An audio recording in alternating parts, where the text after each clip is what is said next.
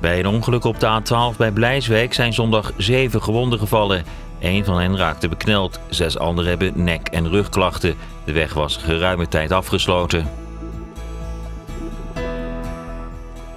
Het vertrouwen tussen jongeren en politie in de Haagse Schilderswijk kan volgens deskundigen op verschillende manieren worden hersteld. Zo zou de politie beter moeten uitleggen waarom ze iemand aanhouden of controleren. Als mensen uitleg krijgen waarom ze worden aangehouden, ervaren ze dat minder snel als discriminatie.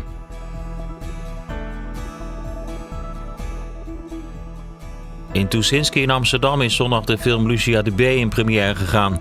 De film is gebaseerd op het waargebeurde verhaal van de verpleegster Lucia de Berg. De Haagse verpleegkundige zat zes jaar lang onschuldig in de gevangenis voor moord en poging tot moord. Lucia de Berg was bij de première aanwezig.